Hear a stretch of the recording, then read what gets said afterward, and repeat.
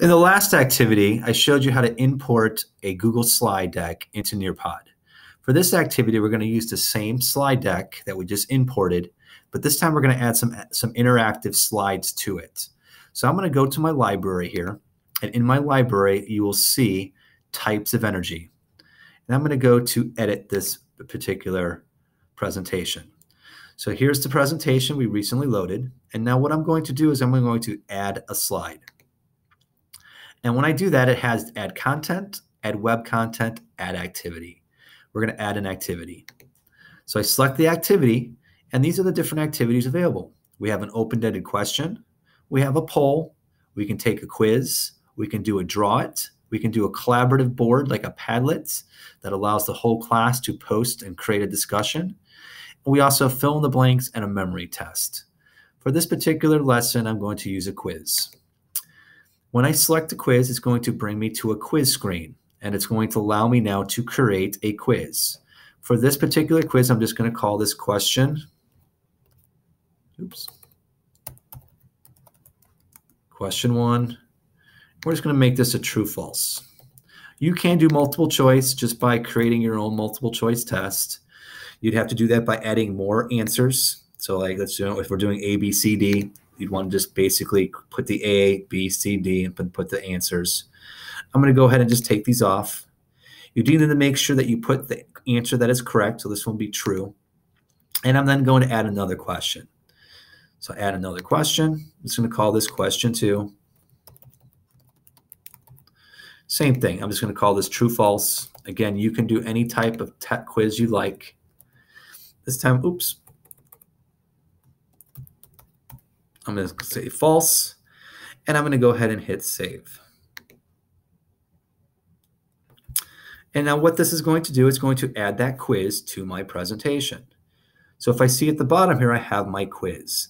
Now the really cool thing is you can add the quiz wherever you like. So you can put the quiz, let's say after, let's say the first couple slides. Maybe you want to do some formative assessment throughout. So you can add another quiz at the end. Or maybe you put a quiz or a question after each slide. Totally up to you and how you want to make this interactive. But once you have those different activities put in there, I'm going to add one more activity to show you how easy it is. So I'm going to go add another slide, add activity. This time I'm going to add a collaborative board. The collaborative board, same thing. Types of energy. Types of energy. And then here I can put what I want the students to do. List the type of energy you use at home.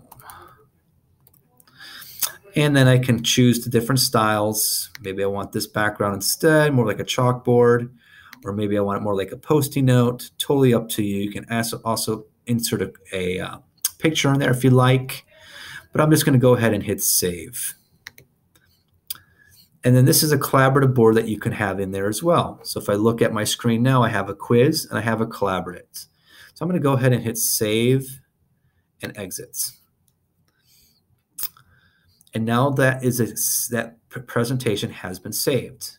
So here it is. Now, if I want to give this to my students, I can do a live session. And what happens is if I select live session, it's going to give me a code that I can share with my class. You can do this using a Google Classroom. You can email it to your students. You can send them a link, or you can just place this on the big screen and they can put this in. Now, what the students would do, they would go to Nearpod and hit join, and they would put the code in. It gives you complete control of the presentation. So if I go ahead and click through this right now and go through my presentation, as you click, the slides are also moving for the students. The students cannot jump ahead. You are in complete control of the presentation. So here's my quiz. Now, this is the teacher side of things. So I get to see what my students are answering. Great way to do formative assessment as you're going through the class. You'll be able to see what the students' answers are, and then you can correct students or ask students for feedback based on their answers. Also on the collaborative board, same thing.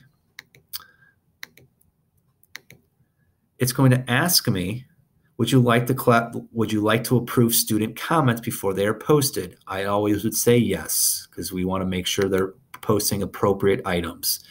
And now as the students are thinking about this, it'll start popping up on this board and you'll be able to start seeing your students' answers on the fly.